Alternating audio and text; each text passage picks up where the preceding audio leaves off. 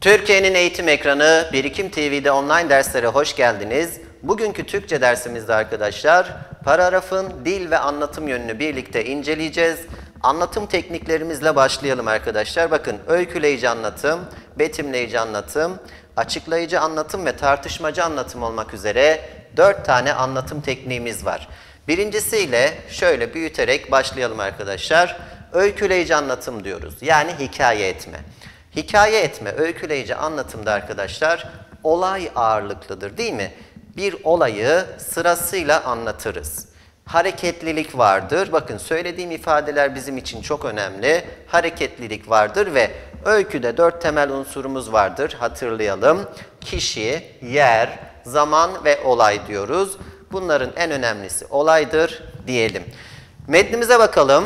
Bir gün babam eve geldi diyor bakın burada geldi demiş. Bir gün babam eve büyük bir sevinçle geldi derken buradaki geldi bir fiil değil mi? Peki e, bir hareket var mı? Var. Devam ediyoruz. Elinde küçük kese kağıtları vardı. Kız kardeşimle ben önce leblebi çekirdek sandık. Bakın elinden almak istedik. Vermedi. Bakın hareketi ne yapıyoruz arkadaşlar? Hissediyoruz burada şu an okurken. Devamına baktığımızda arkadaşlar bakın bunlar tohum. Bahçeye ekeceğiz dedi. Bakın ekeceğiz dedi. Biz yüzüne şaşkın şaşkın bakarken annem efendi ne tohumu ne bahçesi diye kızdı. Bayağı tohum işte bildiğin sebze tohumu, ıspanak, lahana, pırasa, havuç hepsinden var diyor. Evet arkadaşlar burada metnimize baktığımızda bir hareketlilik hissediyoruz ve bir olay sırasıyla anlatılmış. Dolayısıyla bu metnimizde hikaye etme yani öyküleyici anlatım vardır. Peki betimleyici anlatım nedir arkadaşlar? Öyküleyici anlatımla karışır değil mi? Diğer ismi tasvir etmektir. Kelimelerle resim çizme sanatına biz betimleme diyoruz. Yani gördüklerimizi öyle bir anlatıyoruz ki sıfatları kullanarak, niteleyici sözcükleri kullanarak betimleme yapmış oluyoruz. Peki arkadaşlar, öyküleyici anlatımda hareketlilik var. Burada öyle bir hareketlilik yok diyoruz. Ben kamera ile video çekimi yaparsam öyküleyici anlatım olur. Fotoğraf çekersem arkadaşlar bir fotoğraf makinesiyle o da betimleyici anlatım olur diyoruz. Evet. Burada bakın dershaneyi sabahlayın daha iyi gördüm. Burası herhalde eski bir ahır olacaktı. Yalnız altına tahta döşemişler. Pencereleri genişleterek cam çerçeve tak taktırmışlardı. Ocak bacaları gibi kapkara görünen duvar kaplamalarında tepe aşağı takılmış bir harita ile bir iskelet levhası, bir çiftlik ve bir yılan resmi sarkıyordu. Bunlar herhalde yeni ders aletleri olacaktı. Evet arkadaşlar metnimize baktığımızda e, renkten, biçimden, e, ifa, e, renkten, biçimden e, öne çıkan kavramlar var değil mi? Yani rengini, biçimini ifade ettiğini görüyoruz. Mesela burada ne demiş? Kapkara demiş. İşte burada eski bir ahır demiş. Bakın arkadaşlar tepe aşağı takılmış bir harita diyor. Yani rengini, biçimini öyle bir anlatıyor ki orası e, o yerin. Biz orayı sanki görmüş gibi oluyoruz ve gözümüzün önünde bir manzara gibi canlanmış oluyor. Yani ben resim çizer gibi bu metni ne yaptım arkadaşlar? Ee, size aktarmış oldum ve bu metin arkadaşlar bizim için betimleyici anlatımdır diyoruz. Açıklayıcı anlatım nedir arkadaşlar? Bilgilendirmedir değil mi? Yani bilgi vermektir. Karşı tarafa bir şeyler öğretmektir. Mesela ders kitapları, ansiklopediler, orada geçen ifadelerin hepsi açıklayıcı anlatımdır. Ve e, arkadaşlar bakın burada hani ne diyoruz temel şeyimiz aydınlatmak, öğretmek diyoruz. Dede Korkut hikayeleri 13. ve 14. yüzyıllar arasında Doğu Anadolu ve Azerbaycan bölgelerinde Oğuz boyları arasında söylenmiş sözlü halk hikayeleridir. Bilgi veriyor mu? Evet. Bu hikayeler 15. yüzyılın başlarında yazıya geçirilmiştir. Hikayelerin ne zaman ortaya çıktığı kesin olarak belli değildir. Dede Korkut hikayeleriyle ilgili bilgi aldık mı? Aldık. Bilgilendirildik mi? Evet. O zaman bu metnimiz açıklayıcı anlatımdır diyoruz. Tartışmacı anlatım. Bakın tartışmacı anlatımın olabilmesi için Bir düşünce var, farklı bir düşünce var. O düşünceyi kabul etmiyoruz. O diğer farklı düşünce, örnek veriyorum, ee, ne yapıyor arkadaşlar? Kendi düşüncesini ön plana çıkarıyor ve kendi düşüncesinin doğru olduğunu ifade ediyor. Karşınızda iki insanla tartışırken genelde bu olur değil mi? Tartışma deyince aklımıza hani böyle kavga etmek gelmesin.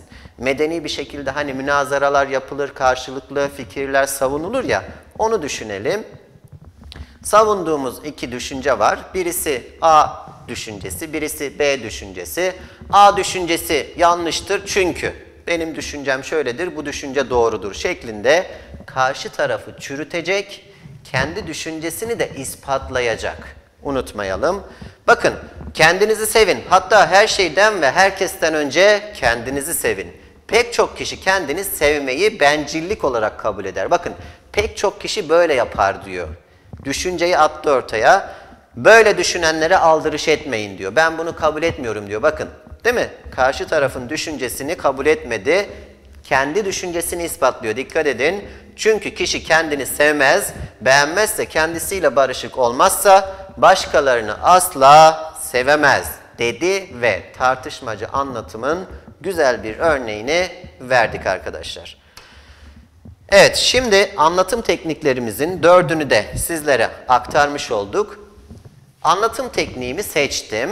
Düşüncemi geliştirmek istiyorum. Karşı tarafa düşüncemin daha somut ve net bir şekilde gitmesini istiyorum. Bunu yaparken de düşünceyi geliştirme yollarından faydalanıyorum. Tanımlama, sayısal verilerden yararlanma gibi başlıklar. Hatırladınız değil mi? Evet, tanımlamadan başlayalım. Sıfat nedir? Dedin. Cevabı geliyorsa o cümlenin içinden demek ki sıfatın tanımını yapmış. Zarf nedir? Dedin. Cevabı geliyorsa demek ki o cümle zarfın tanımını yapmış. Aslında bu kadar basit. Yani bu nedir diye sorduğumda cevap geliyorsa orada tanımlama vardır. Ulusların en eski dönemlerinde yer alan ve toplumların üzerinde derin izler bırakan tarihsel, toplumsal olayları anlatan yazılara destan denir. Destan nedir? Budur. Bitti. Destanın tanımını yaptığı için tanımlama vardır diyoruz. Peki arkadaşlar, karşılaştırma nedir? Karşılaştırma iki unsurun, bu bir kişi olabilir, değil mi? Bu bir eser olabilir, bu bir fikir olabilir. Karşılaştırılması, kıyaslanmasıdır. Yani arkadaşlar benzerliklerin ve farklılıkların ifade edilmesidir. Ama en az iki unsur olacak. Öyle değil mi? Bakalım iyi bir dinleyici konuşmacıyı coşturur. Kötü bir dinleyici ise insanda konuşma hevesi bırakmaz. He, iyi bir dinleyici ile kötü bir dinleyiciyi kıyasladık, karşılaştırdık. En, göre, daha, ise gibi sözcükler bizim için anahtar sözcüklerdir diyoruz. Devam edelim gençler. Örneklendirme diyelim. Konumun somut hale gelmesi için, fikrimi somut bir şekilde zihinlerde canlandırmak için örneklendirmeye başvururum. Değil mi? Mesela aynı ülkede yöreden yöreye değişen ağız, şive dediğimiz küçük ayrılıklar vardır demiş. Bakın bizim konuştuğumuz Anadolu Türkçesinde bölgelerimiz, illerimiz arasında ağız ayrılıkları görülmektedir. Dikkat! Kars ağzı, Antep ağzı, Konya ağzı, Rumeli ağzı ve benzeri. He, bakın ağızlara ne yaptı? Örnek vermiş oldu. İşte burada örneklendirme vardır diyoruz. Bütün dünya dillerinde de bu tip ayrılıklar vardır diyoruz. Peki tanık gösterme, alıntı yapma. Arkadaşlar tanık gösterme, alıntı yapma şu şekilde ifade edelim. Bakın yazarın okuyucuyu ikna etmek için ikna ediyoruz. Ünlü birinin sözüne yazısında yer vermesidir. Yazar bu yolla adeta bakın bu düşünür de tıpkı benim gibi düşünüyor der. Bu teknikte atasözleri de kullanılabilir diyoruz ve arkadaşlar tanık gösterilirken ünlü kişinin adı söylenmeye bilir diyoruz. Örneğimizde bakın beyaz fil görmek mutlu birini görmekten daha kolaydır. Böyle diyor Anton Çehov mutluluk üstüne. He, Anton Çehov'un düşüncesini aldı. burada yansıttı. Buna biz tanık gösterme diyoruz arkadaşlar. Peki sayısal verilerden yararlanma değil mi? Bir metnin içinde sayısal veriler varsa daha inandırıcı olur öyle değil mi arkadaşlar? Evet sayısal verilere, istatistiklere, anket sonuçlarına yer veriyoruz. Düşüncemizi daha inandırıcı yapmak için. Peki bakıyoruz bakın burada 240 milyon kişi demiş. Burada bakıyoruz 2000'in üzerinde insan demiş. Yaklaşık 14 milyon kişi demiş. Metnin tamamına bakacağız. Ve metnin tamamında bu şekilde sayısal veriler, istatistikler veya anket sonuçlarından varsa sayısal verilere ulaşabiliyoruz. Yani sayısal verilerden yararlanma yapılmıştır diyoruz. Altıncı başlığımız benzetme arkadaşlar. Aslan gibi çocuk. Ne yaptık? Çocuğu aslana benzettik. Güçlülük yönüyle öyle değil mi?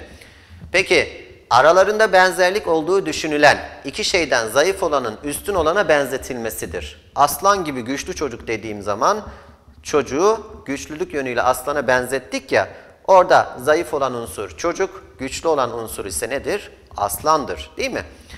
Sevgi bir havai fişeğe benzer. Evet, sevgiyi havai fişeğe benzetmiş. Bırakın yüreğinizdeki havai fişekler göklere yükselsin ve oralarda patlayarak bin bir renkte, bin bir pırıltıyla bin yere insin demiş. Değil mi? Benzetmeleri zaten söz sanatlarından da hatırlıyoruz arkadaşlar. Peki, düşünceyi geliştirme yollarımızı da bu şekilde verdikten sonra anlatıcı türlerimiz var. Bakın, bu da çok önemli bir konudur. Neden? Çünkü bazen sorularda hani e, hikaye haritası verilir, e, kişi, yer, zaman, olay, anlatıcı da verilir. Yukarıdaki haritaya uygun hikaye aşağıdakilerden hangisidir der. Dikkat edelim arkadaşlar. Burada birinci kişi ağzıyla anlatım ve üçüncü kişi ağzıyla anlatım vardır. Başka yok. Dikkat edelim. Peki birinci kişi ağzıyla anlatım nedir? Bakın Yazar burada kendi başından geçen bir olayı anlatıyor. He, olayın içinde var yani. Evet, yazar olayın kahramanlarından biridir ve fiilleri şu şekildedir. Gittim, gördük, çalışıyorduk. Yani kim diye sorduğum zaman ya ben ya da biz cevabını alıyoruz. Ben dediği zaman ya da biz dediği zaman olayın içinde ben var mıyım? Varım. Biz gittik. Ben de varım. Ben geldim. E ben varım zaten. O zaman ne oluyor? Ben ve biz şahıslarını e, birinci kişi ağzıyla anlatımda görüyoruz. Peki üçüncü kişi ağzıyla anlatımda ne vardır arkadaşlar? Bakın yazar olayın içinde yok. Olayın bir parçası değil. Sadece gözlemci. Bakın önemli. Ve fiiller gitti, gördü, çalışıyorlar şeklinde yani kim diye sorduğumuz zaman bu sefer ben ve biz cevabı değil de o, onlar cevabı gelmesi gerekiyor arkadaşlar. Evet mesela örnek birkaç fiil verelim. İhtiyar kadına bana yardım etmesini söyleyerek hasırı kaldırdım diyor. Bakın kaldırdım. Olayın içinde ben var mıyım? Var. O zaman bu metin arkadaşlar birinci kişi ağzıyla anlatılmıştır diyoruz. Peki devamına da bakıyorum bakın getirdim, işte e, başlamışlardı. He, kim? Onlar. Hocam burada bir tane farklı bir fiil var. Bu yapıyı bozar mı? Bozmaz. Arkadaşlar bu paragrafın içinde ben bir tane bulduğum zaman orada birinci kişi ağzıyla anlatım vardır demem yeterlidir. Peki üçüncü kişi ağzıyla anlatıma örnek verelim. Mesela büyük bir ormanda bir bülbül yaşarmış. Gençmiş, güzelmiş, öylesine duygulu bir sesi varmış ki dinleyenleri mest edermiş. Rengi sarı olduğundan orman sakinleri onu sarı bülbül diye çağırırmış.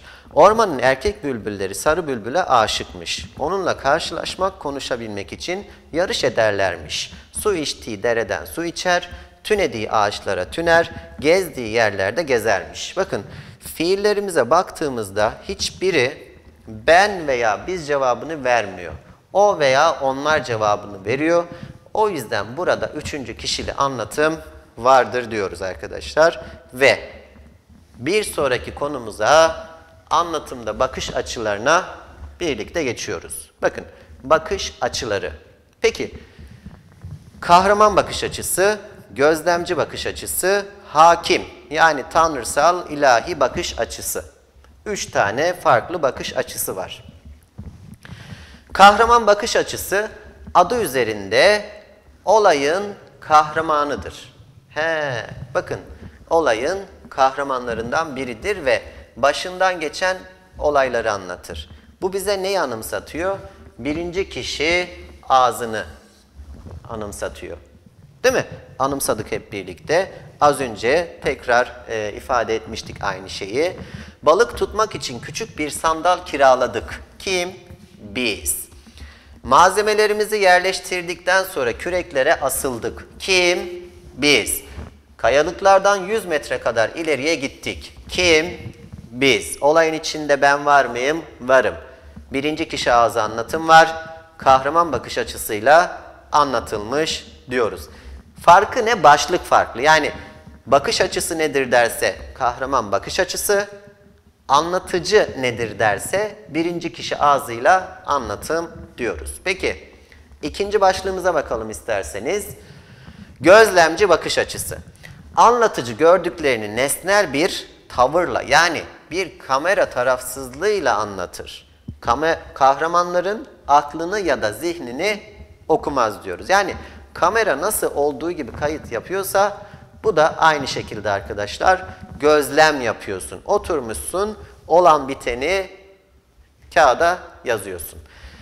Arka bahçedeki elma ağacının altında ufak tefek bir çocuk vardı. Bakın ufak tefek bir çocuğu gözlemlemiş. Çömeldiğini gözlemlemiş. Bakın çömelmiş beyaz bir kediyi besliyordu.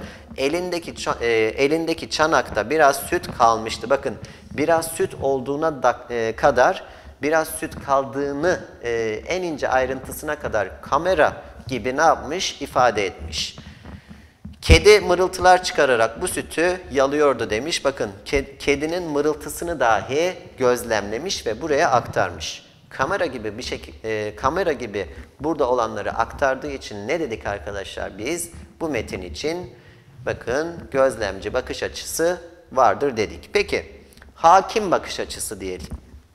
Hakim bakış açısı arkadaşlar anlatıcının bakın her şeyi bildiği gördüğü bakış açısıdır. Yani düşünsene benim içimden geçen düşünceleri de biliyor. He, bakın hakim yani her şeye hakim. Peki bu bakış açısında yazar kahramanın içinden geçenleri dahi bilir diyoruz ve bu şekilde bunun önemli bir ayrıntı olduğunu ifade ediyoruz. Çocuğun kocaman yatağından kalkması çok zor oluyordu. Benim de boyum uzayacak mı diye düşündür, düşündü bir an. He, çocuk düşünmüş bakın. Benim de boyum uzayacak mı diye düşündü bir an. Nereden biliyorsun böyle düşündüğünü? Değil mi? He, diyor ki ben olaya hakimim, içinden geçen düşünce bu şekilde diyor ve yazar bunu bu şekilde ifade ediyor. O zaman bu metin kahraman bakış açısı diyoruz ve arkadaşlar devam ediyoruz. Anlatımda bakış açılarından birincisi olan kahraman bakış açısıyla başlayalım. Arkadaşlar kahraman bakış açısı adı üzerinde ben olayı yaşayan kahramanlardan biriyim. Yani olayın içindeyim ve başımdan geçenleri anlatıyorum. Balık tutmak için küçük bir sandal kiraladık. Malzemelerimizi yerleştirdikten sonra küreklere asıldık. Kayalıklardan 100 metre kadar ileriye gittik. Bakın kim? Biz gittik. Kim asıldı? Biz asıldık. Kim kiraladı? Biz kiraladık şeklinde ifadelere ulaşıyoruz. Demek ki ben kahramanlardan biriyim. İkinci başlığımıza geçelim. Gözlemci bakış açısı. Yani oturuyorum bir yere, ince ayrıntılara dikkat ederek gördüğüm şeyleri gözlemliyorum ve kayıt altına alıyorum. Buna biz gözlemci bakış açısı diyoruz ve kamera tarafsızlığı vardır. Yani olduğu gibi aktarır arkadaşlar. Mesela arka bahçedeki elma ağacının altında ufak tefek bir çocuk vardı demiş. He, ufak tefek bir çocuk olduğunu gözlemlemiş. Yani küçük olduğuna kadar gözlem yapmış. Çömelmiş beyaz bir kediyi besliyordu. Elindeki çanakta biraz süt kalmıştı. Kedi mırıltılar çıkararak bu sütü yalıyordu. Evet arkadaşlar bakın burada kediyi ve o kişinin yaptığı davranışları ince ayrıntısına kadar bize sunduğu için burada gözlemci bakış açısı vardır diyoruz. Peki üçüncüsü hakim, tanrısal ilahi bakış açısı. Olaya ben hakimim. Anlattığım olayda kahramanımız var ya, işte ben o kahramanın içinden geçen düşünceleri de biliyorum. Zihninden geçen ifadeleri de okuyabiliyorum gibi düşünün. O kadar olaya hakimiz. Mesela çocuğun kocaman yatağından kalkması çok zor oluyordu. Benim de boyum uzayacak mı diye düşündü bir an. Nereden biliyorsun böyle düşündüğünü? Değil mi? Böyle, bu şekilde düşündüğünü ifade ediyorsa arkadaşlar bu metnimizde hakim bakış açısı vardır diyebiliriz. Peki devam edelim. Ee, anlatımda bakış açılarını verdik. Şimdi anlatımda duyulardan yararlanma diyoruz. Bakın beş duyu organımız var. Bunu hani somut ve soyutu anlatırken de kullanıyoruz ya. Bilmemiz gereken beş duyumuz var. Bunları bakın örnekler üzerinden verelim. Görülen varlıkların isimleri söyleniyorsa görme vardır diyoruz. Bir yiyecek var. O yiyeceğin tadıyla ilgili acı, tatlı, ekşi gibi ifadeler görüyorsak orada tatma vardır. Şırıl şırıl gibi veya herhangi bir ses unsuru veriliyorsa arkadaşlar orada işitme söz konusudur. Sert, yumuşak, sıcak, soğuk gibi kavramlar veriliyorsa bu dokunmayla ilgilidir. Bakın koku yani burnumuzla ilgili ifadeler ise kokladığımız e, ifadeler ise arkadaşlar ne diyoruz? Koklama duyusuna hitap eder diyoruz. Peki bunlar arkadaşlar paragrafın içinde kendini gösterir zaten. Dikkatli bir şekilde bakarsak görebiliriz. Şimdi devam edelim. Anlatımın özellikleri diyoruz. Ben bir yazarım veya şairim veya konuşmacıyım. Konuşurken veya yazarken yapmış olduğum anlatımın bazı özellikler taşıması gerekiyor. Neden? Çünkü karşı taraf seni sıkılmadan dinleyecek, anlattığın şeyleri daha rahat anlayacak. Bunun için de bizim e, bunu çok iyi yapmamız gerekiyor. Nedir bu anlatım özellikleri arkadaşlar? Birincisi özgünlük. Bakın özgünlük bana özgü olması. Başkasını taklit etmememdir. Başkasını taklit ediyorsam özgün bir yazar değilim demektir. Öyle değil mi? Peki kendime yeni bir yol açtım, başkasını taklit etmedim dedim. Belli bir tarzı olan yazarlar geleceğe kalabilir. Başkalarını taklit eden yazarlar kısa süreli başarılar kazansalar da gelecekte adları anılmayacaktır. He bakın burada arkadaşlar hangi kavram vurgulanıyor diye sorarsak özgünlük kavramı vurgulanıyor diyoruz. Peki akıcılığa geçelim. Akıcılık anlatımın hiçbir engele uğramadan akıp gitmesidir. Akıcı cümlelerde gereksiz sözcük kullanılmaz. Bakın şuraya bakalım. Romanı okumaya başladığınızda cümlelerin su gibi aktığını siz de fark edeceksiniz derken bu cümle romanla ilgili yani eserle ilgili bize bilgi veriyor. Akıcı bir esermiş şeklinde bir yargıya ulaşıyoruz. Peki devam edelim. Açıklık diyoruz. Şimdi şöyle bir örnek verelim. Elimde demir para var diyorum. Kaç lira var diye sorduğum zaman elim kapalı olduğu için herkes farklı bir cevap verir. Ama elim açık olursa herkes aynı cevabı verir. Açıklık da böyle bir şey. Yani cümle açıksa eğer herkes aynı şeyi anlar. Cümle kapalıysa herkes farklı bir yargı ve sonuca ulaşır diyoruz arkadaşlar. Açıklık ve kapalılığı bu şekilde ifade ettik. Mesela ben kitabı Mert'ten çok severim derken burada bakın arkadaşlar kapalı bir ifade görüyoruz. Hani kitabı Mert'ten mi çok seviyorsun yoksa bakın şuradaki ifadeye bakalım. Benim kitap sevgim Mert'in kitap sevgisinden çoktur mu demek istiyorsun. Değil mi? İki yoruma da açık olduğu için şu şekilde kullandığım ifade kapalı bir ifadedir diyebilirim arkadaşlar. Tutarlılık. Bir söylediğim başka bir söylediğimi tutuyorsa tutarlıyım, tutmuyorsa tutarsız bir insanım. Az önce iyi dediğim bir şeye biraz sonra kötü diyorsam veya az önce siyah dediğim bir renge biraz sonra beyaz diyorsam demek ki ben tutarlı bir insan değilim. Düşünceler de bu şekildedir arkadaşlar. Düşünce değişmiyorsa, sabit devam ediyorsa tutarlılık vardır. Peki yalınlık yani sadelik nedir arkadaşlar? Edebi sanatlara yer vermeden, süslü bir anlatım kullanmadan yapılan anlatıma yalınlık diyoruz arkadaşlar. Bunu unutmayalım ve duygularımızı kısa ve net bir şekilde ifade ediyoruz. Peki duruluk diyelim arkadaşlar. Duruluk. Bakın duruluk arkadaşlar bir şeyin, bir ifadenin e, gereksiz sözcük taşımamasıdır ve bunu biz anlatım bozukluğunda da işleyeceğiz. Yani duruluk ilkesi anlatımda gereksiz kelimelere yer vermemektir. Mesela örnek, öneri ve tekliflerinizi bize mektup aracılığıyla ulaştırabilirsiniz demiş. Öneri ve teklif diyor. He, yani öneri ve teklif aynı şey. İkisini kullanmana gerek var mı? Birini kullansan yeter. Gereksiz bir sözcük var. Demek ki bu anlatımda duruluk ilkesine uyulmamış. Peki. Doğallık yani içtenlik, samimiyet değil mi arkadaşlar? İçinden geldiği gibi, günlük hayatta olduğu gibi davranmaktır. Yazarın sanat yapma endişesi taşımadığını ne yapıyoruz? İfade ediyoruz. İçimizden geldiği gibi diyoruz arkadaşlar. Peki bakın özgünlük dedik, akıcılık dedik, açıklık dedik, kapalılık, tutarlılık, yalınlık, sadelik. Bakın bunlar hep anlatım özellikleri. Duruluk dedik, doğallık dedik ve özlülük ile devam edelim. Öz olması. Bir şeyin kısa ve öz olmasıdır arkadaşlar. Uzun uzadıya anlatmamaktır. Değil mi? Az sözle çok şey anlatmaya diyoruz.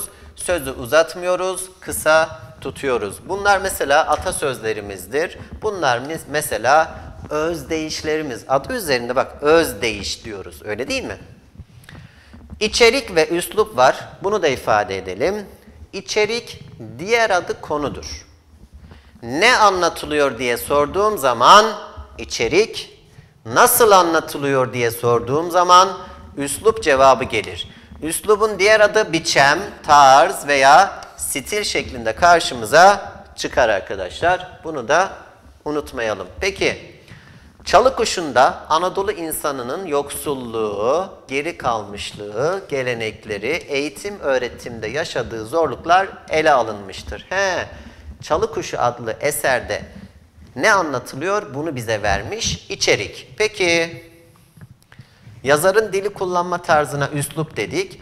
Yazar uzun cümleleri sıklıkla kullanmış. Bakın dikkat bu bir üsluptur. Uzun cümleleri fazla kullanması. Bu da yetmezmiş gibi cümlelerin çoğu devrik. Bundan dolayı hikaye zor ilerliyor demiş arkadaşlar. Bu da yazarın üslubu şeklinde karşımıza çıkıyor. Peki. Şimdi arkadaşlar anlatımda kullanılan diğer unsurlar diye bir başlığımız var. Bakın bu paragraf sorularında karşımıza şu şekilde gelir. Bir paragraf verir.